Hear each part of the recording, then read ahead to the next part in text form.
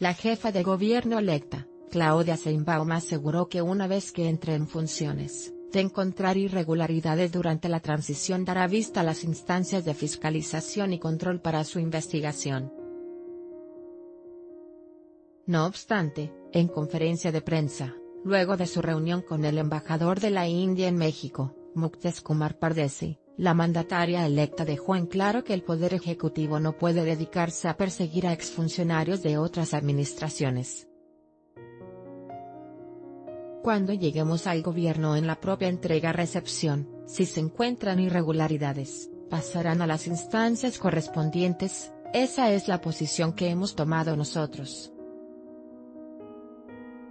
Coincido plenamente con el presidente electo en el sentido de que no se puede dedicar el futuro gobierno nacional ni el de la ciudad a perseguir, esa no es la función del Ejecutivo. Te recomendamos, ¿hay plagio en el nuevo logotipo de la CDMX? Esto es lo que sucede sin embargo, manifestó que el tema central es sacar adelante al país y a la ciudad, por lo que no estarán persiguiendo a exfuncionarios.